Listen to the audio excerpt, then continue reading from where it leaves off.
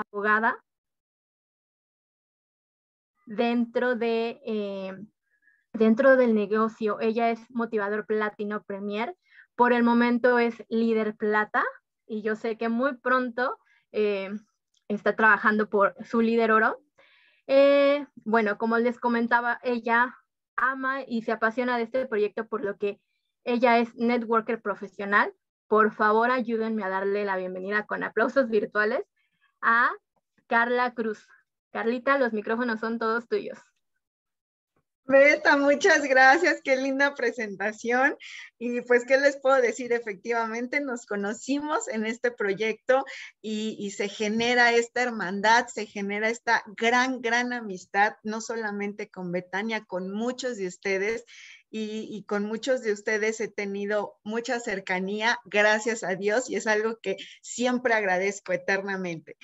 Muchas gracias, Beta.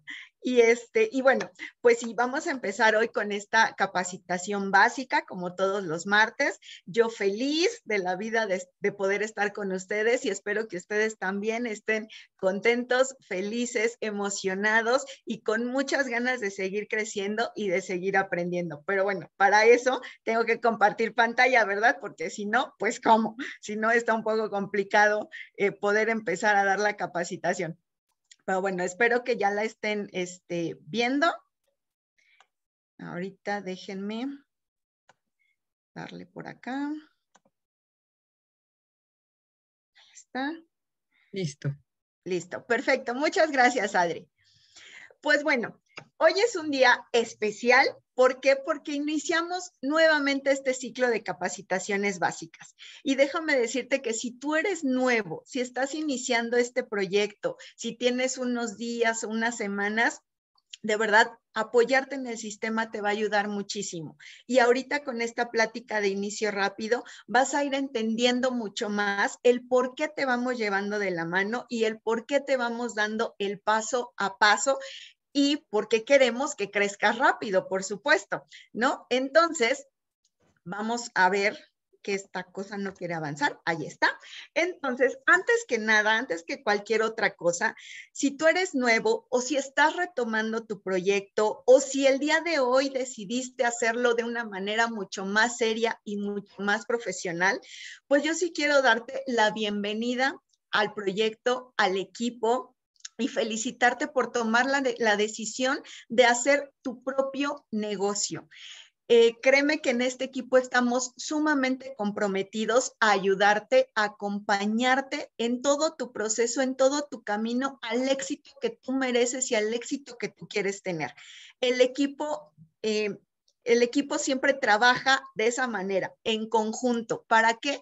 Para que cada uno de nosotros logremos nuestros objetivos y logremos nuestras metas.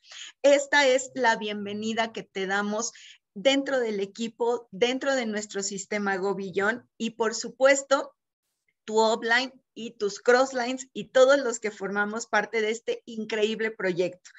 Y justo porque hoy lo estás iniciando, lo estás reiniciando o estás recargando baterías para hacerlo de una forma profesional, yo quiero que hoy reflexiones y te preguntes seriamente ¿qué harías? ¿Qué estarías haciendo ahorita, martes a las 8 y cachito de la noche, si salud, tiempo y dinero no fueran un problema para ti? En dónde estarías, qué estarías haciendo, con quiénes estarías. Esto también es súper importante para ir entendiendo que si bien es cierto, en este negocio, en este proyecto, hay una montaña rusa emocional.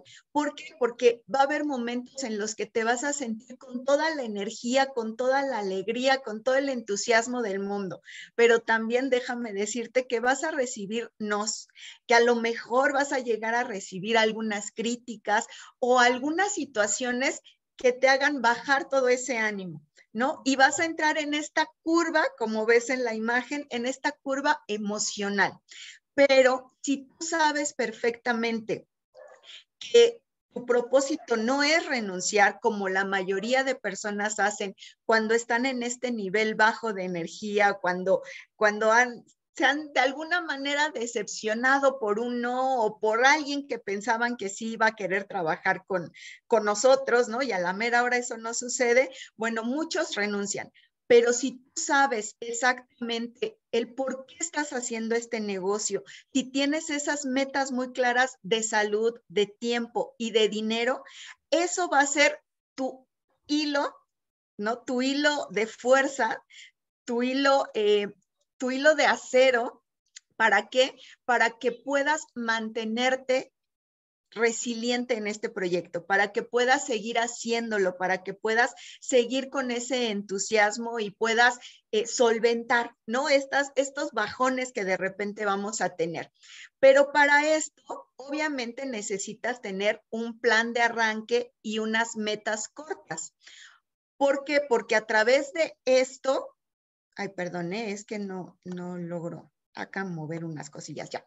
Este, ¿por qué? Porque si tú tienes un plan de arranque y unas metas cortas, vas a ir obteniendo crecimiento, vas a ir teniendo mucha mayor creencia en la industria, en el equipo, en el negocio y sobre todo en ti mismo vas a poder tener resultados mucho más rápidos en cuatro semanas, en cinco semanas, vas a poder empezar a ver todo ese crecimiento.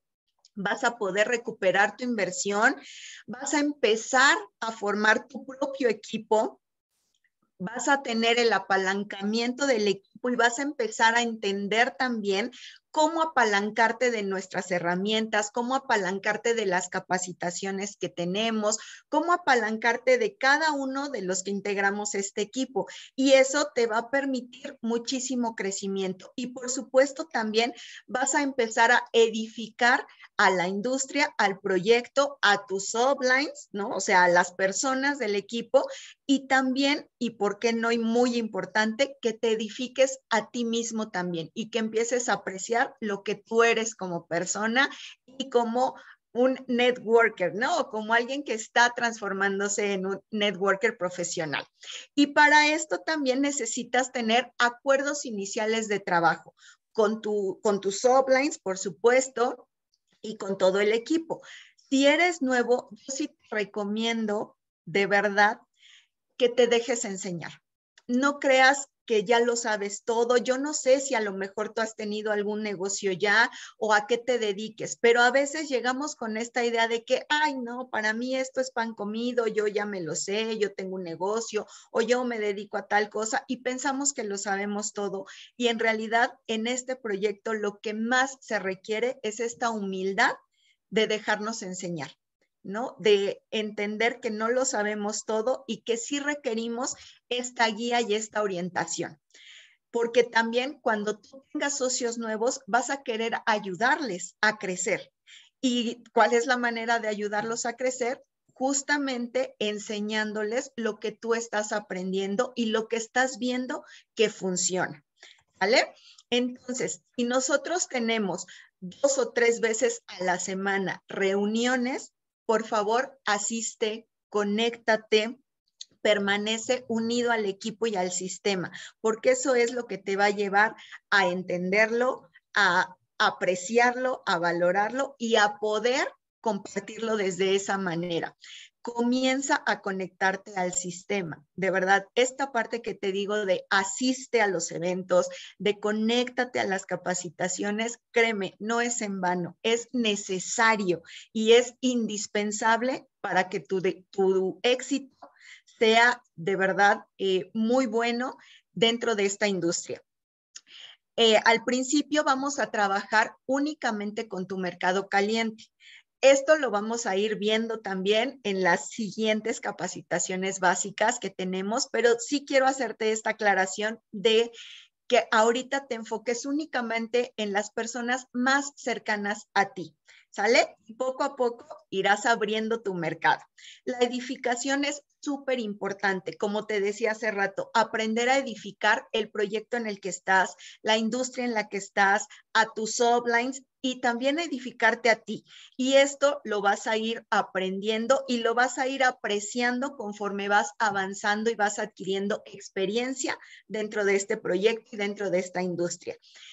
Para iniciar, de una manera más rápida y más sencilla, ¿no? O, la manera eh, primordial que tenemos para empezar, pues es realizando nuestra lista de contactos. A qué personas conocemos, a qué personas tenemos cercanas y para eso te recomiendo que hagas dos listas una lista con todas esas personas a las que tú les veas potencial para desarrollar un proyecto como este. Que tú digas, con él o con ella, yo quiero hacer equipo, quiero que trabajemos, quiero que crezcamos juntos. Con esta persona yo me veo haciendo un negocio de manera profesional.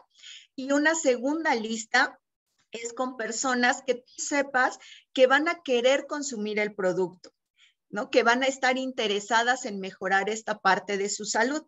Pero bueno, te has de preguntar, ok, hago mi lista eh, de los que yo quiero para socios pero así nada más o qué debe de tener. Bueno, pues esta, esta lista, o más bien estas personas a las que tú debes considerar para realizar el proyecto junto contigo, deben de tener por lo menos una de estas características. Tiene que estar dispuesto a aprender, ¿no? Tiene que ser una persona a la que le guste aprender y que quiera hacerlo.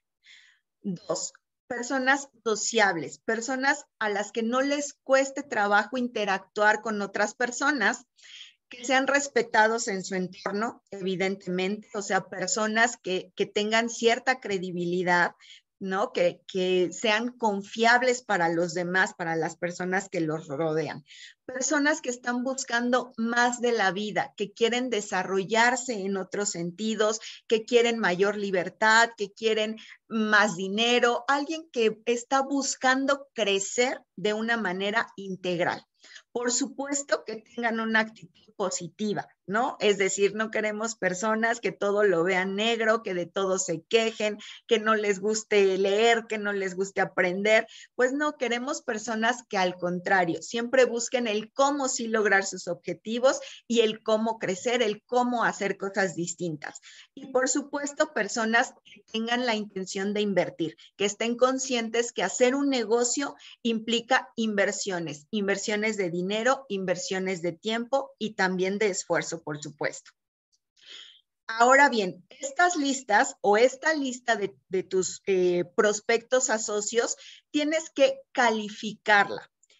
¿Cómo la vas a calificar? Bueno, primero que nada, vas a clasificar a estas personas de acuerdo a su personalidad empresarial. Déjame decirte que hay cuatro tipos de personalidades.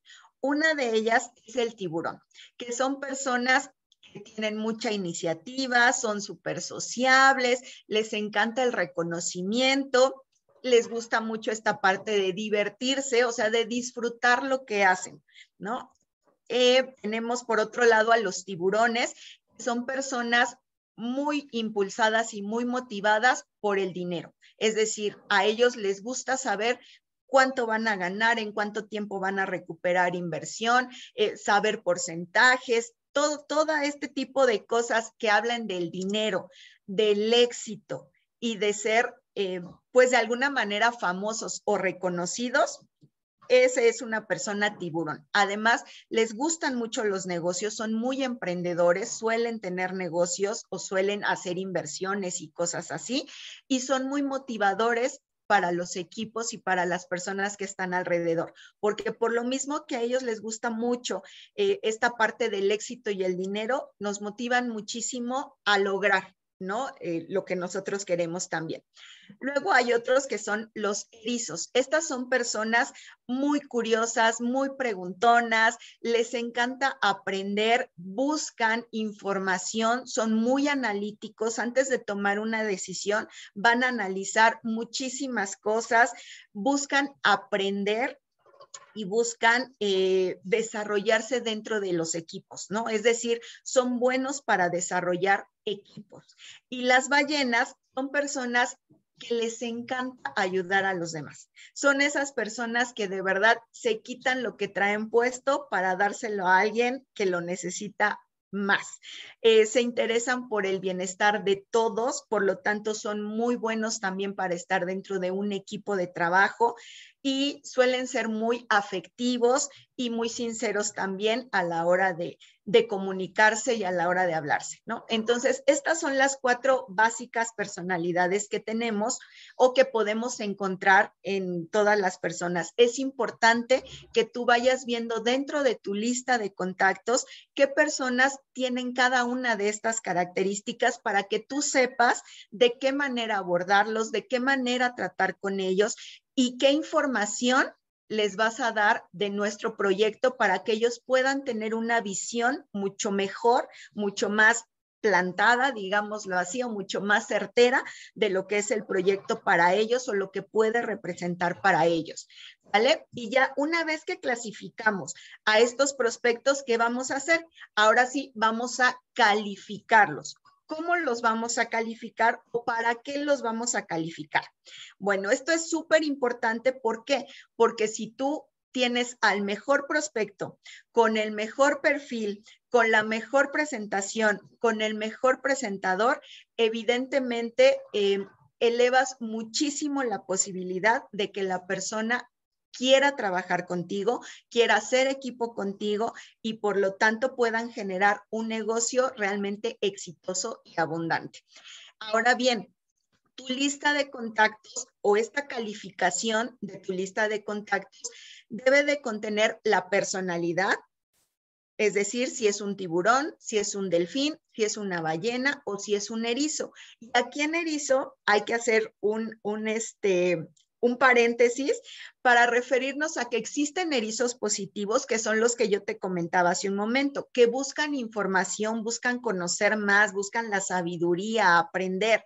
Y hay erizos que son negativos, que las preguntas que hacen, que los cuestionamientos que hacen, las dudas que les surgen, son más bien como en aras de hacerte a ti pensar que estás tomando una decisión incorrecta o para ellos buscar excusas y pretextos de no hacer algo diferente. Entonces tienes que tener mucho cuidado porque obviamente a un erizo negativo pues no es muy saludable que lo tengas dentro de tu lista de prospectos ni que lo tengas dentro de tu, de tu equipo de trabajo, ¿no? Porque evidentemente pues no va a aportar mucho valor al mismo.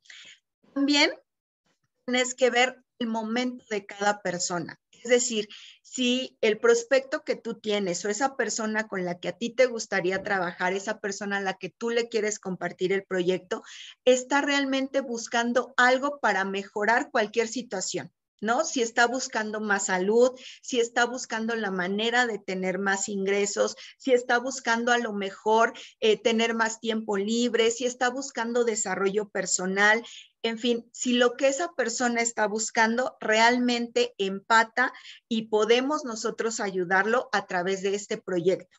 Entonces, si, está buscando opciones, tú vas a poner que esa persona está en un momento uno.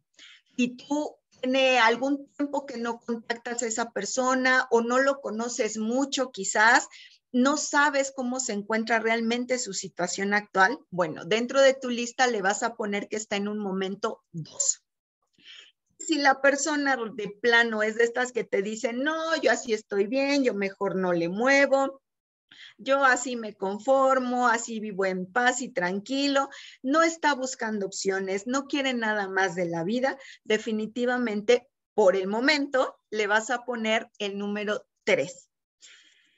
Esto va a ayudar también a ver la actitud de las personas.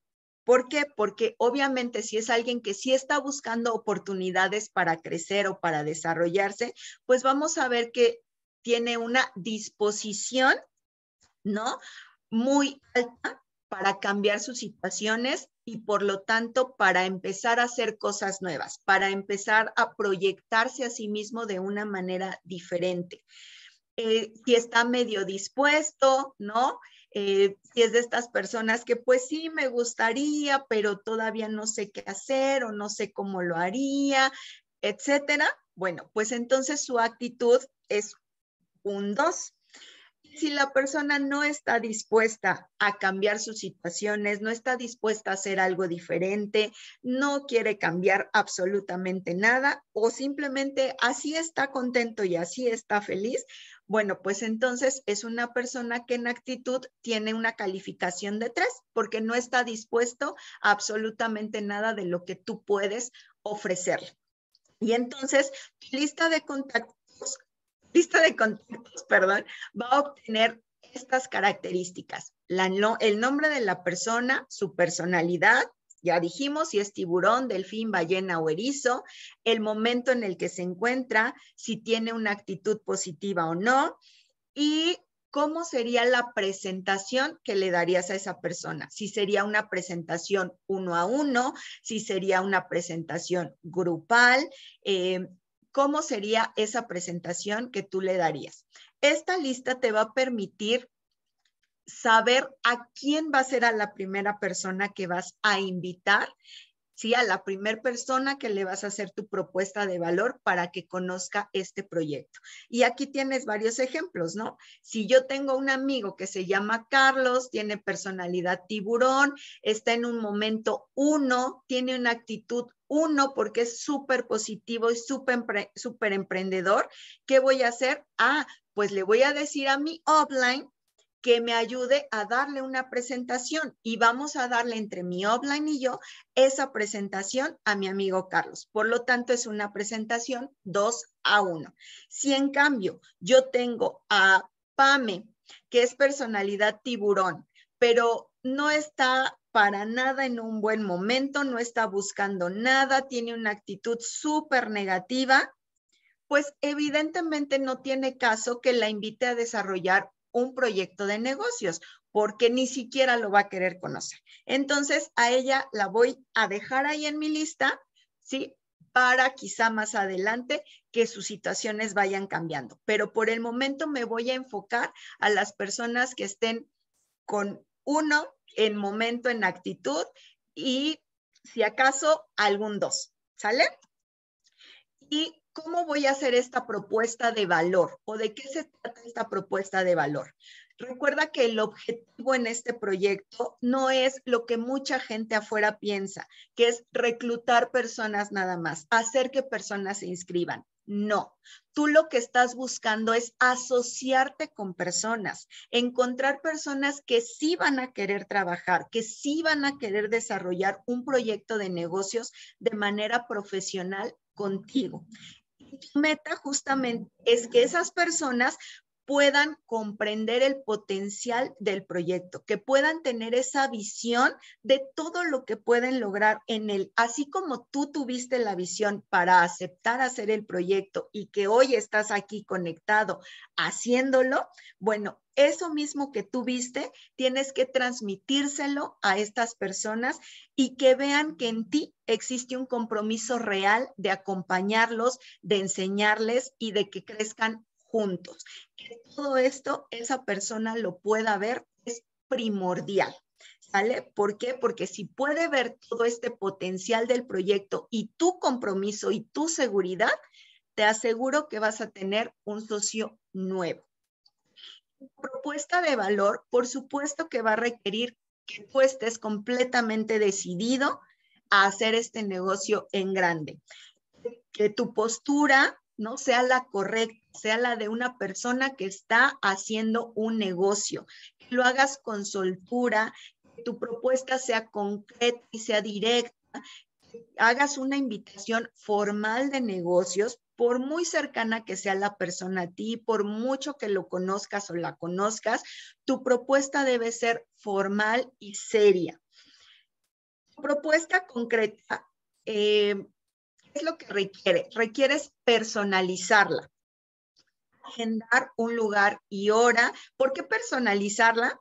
Eh, porque obviamente ya vimos las personalidades de cada quien y porque además no todos estamos buscando lo mismo. Habrá quien busque mayor dinero, habrá quien busque mayor libertad de tiempo, habrá quien busque desarrollo personal o aprender acerca de negocios, habrá quien busque eh, a lo mejor eh, mejorar su salud y la salud de su entorno. Entonces, por eso es que tu propuesta tiene que ser una propuesta personalizada. Tienes que agendar un lugar y una hora para presentar tu proyecto. No te recomiendo para nada que uses mensajes generalizados en redes sociales. No, este tipo de mensajes de, este, eh, estoy buscando personas que quieran eh, desarrollar el network marketing, por ejemplo, ¿no? No suelen funcionar. ¿Por qué? Porque no estás realmente conectando con las personas. Entonces, te invita, como te decía hace rato, a las personas que tú ya conoces, que tú sabes en qué momento están y en qué actitud están y por lo tanto sus calificaciones son de uno o de dos. Preferentemente, si te sugiero tengan una calificación de uno para poderle hacer una propuesta de valor los erizos solamente que sean positivos. Por estadística más o menos, de una lista de 40 personas, se obtienen alrededor de 40, de 20 personas, perdón, o sea, el 50% aproximadamente de personas que pueden interesarse en conocer tu proyecto y en trabajar contigo. Ahora bien, ¿cómo va a ser una vez que ya hiciste tu propuesta, que ya agendaste una cita con esa persona para mostrarle tu proyecto, ¿cómo debe ser la presentación de este? Bueno, vas a contextualizar tu negocio, es decir, ¿qué imagen tú quieres proyectar?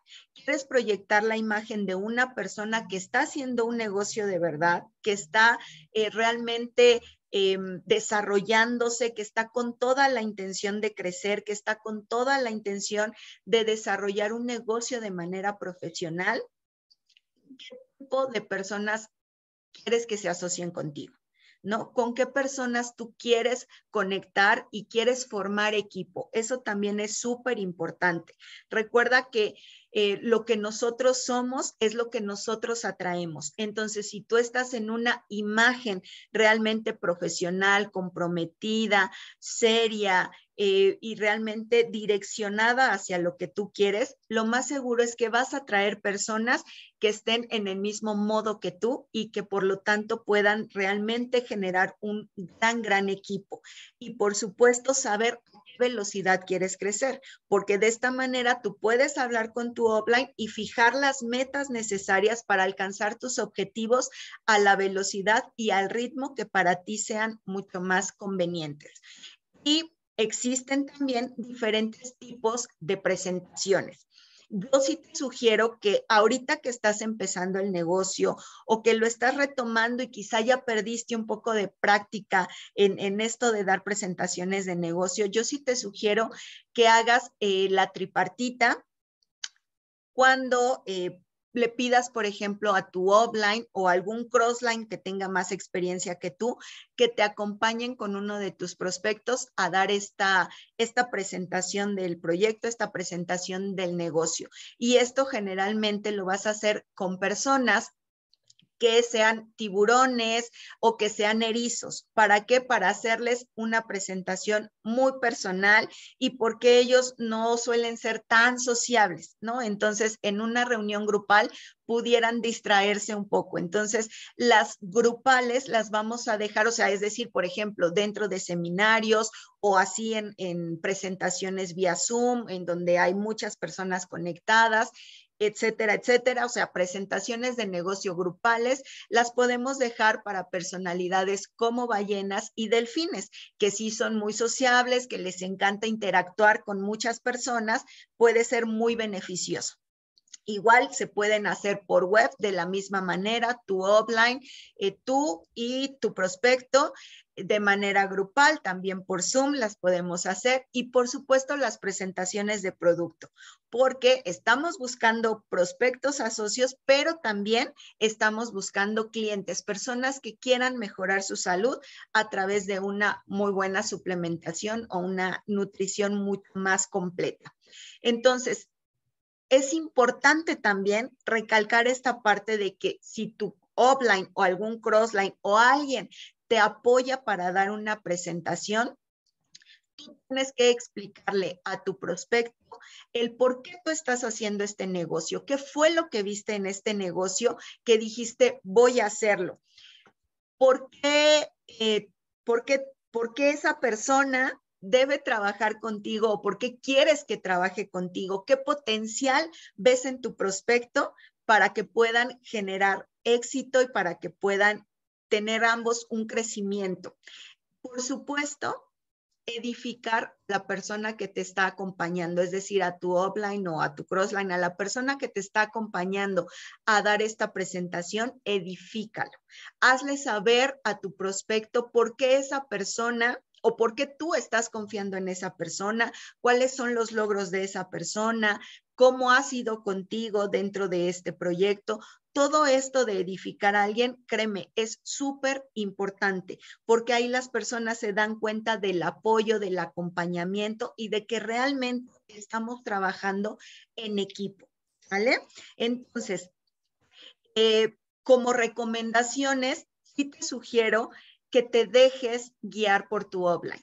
Créeme que tu offline tiene más experiencia que tú y que las cosas que a lo mejor él pudiera en algún momento desconocer, vas a ver la manera de encontrar el camino a obtener mayor información u obtener la herramienta correcta para hacer el trabajo correcto. Entonces, déjate guiar siempre por las personas que tienen más experiencia que tú.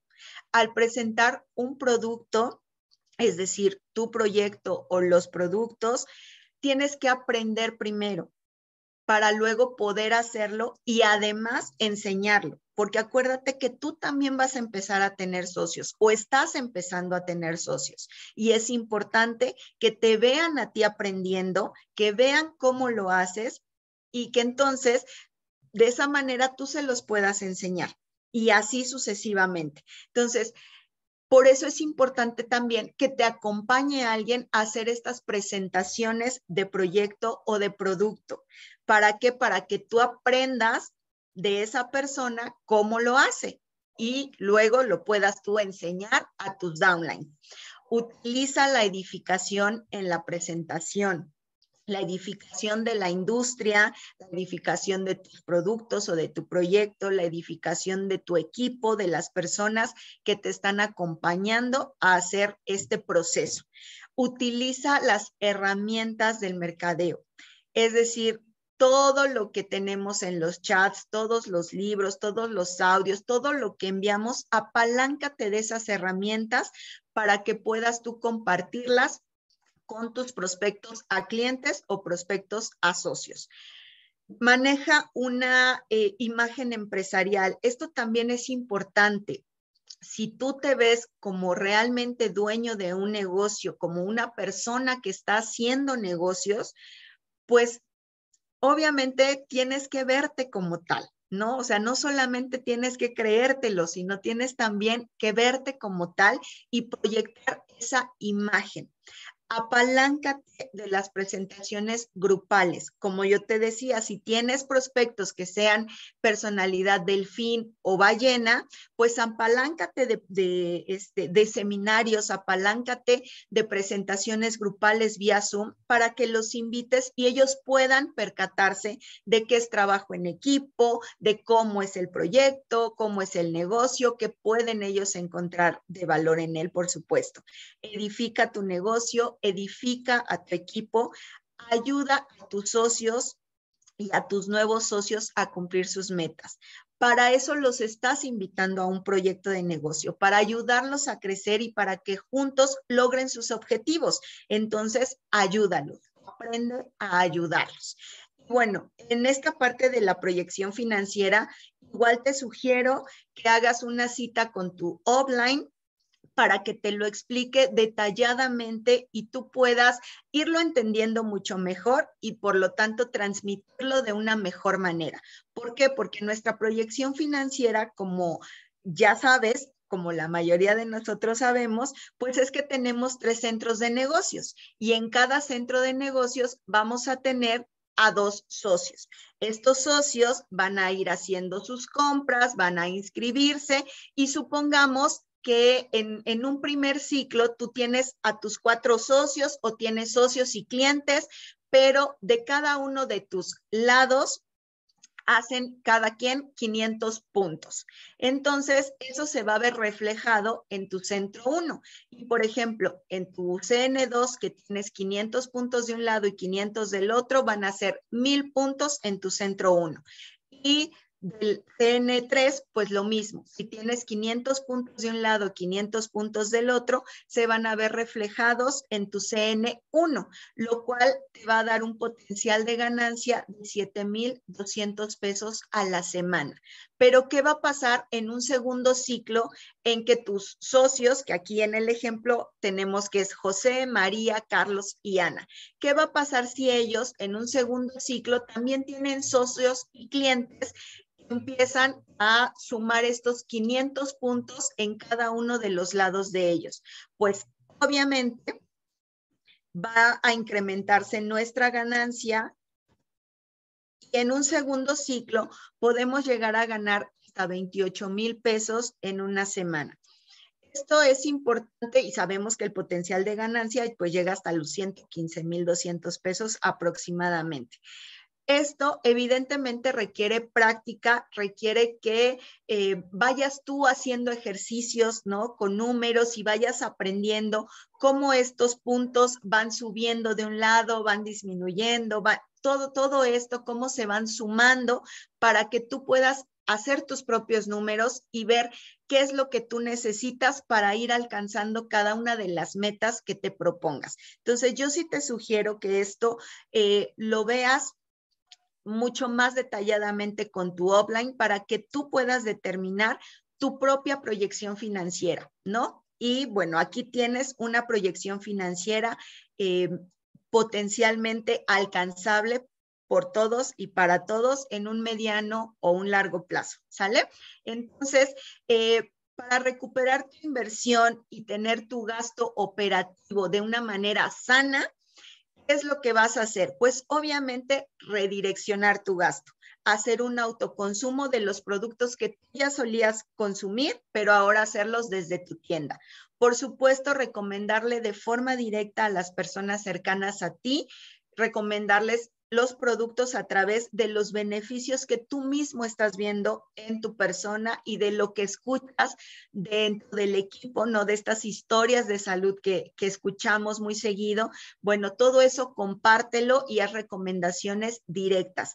Y por supuesto también habla con tu offline habla con tu equipo directo. ¿Para qué? Para hacer presentaciones de producto en donde tú puedas llevar invitados que se interesen en adquirirlos, que se interesen en mejorar tu salud y también apaláncate de las presentaciones de producto que muy seguido tenemos dentro del equipo. Recuerda que tú eres tu negocio, tú eres la imagen de tu negocio, tú eres el representante de este proyecto, de tu proyecto. Entonces, compórtate como te gustaría que fueran tus socios también. Recuerda que el éxito le llega a quienes están dispuestos a trabajar un poco más duro que el resto. Muchísimas gracias a todos por haberse conectado. Espero haberles aportado algo de valor y espero que estas herramientas de capacitaciones básicas les sean de gran utilidad para su crecimiento, para nuestro crecimiento de todos en general. Les agradezco mucho la atención y que tengan una linda noche.